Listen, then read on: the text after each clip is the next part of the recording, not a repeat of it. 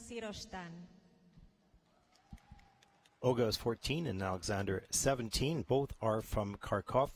They are coached by Galina Churilova and choreographed by Larissa Floridova. This is their first Junior Grand Prix season. Their short dance music is a march and a waltz.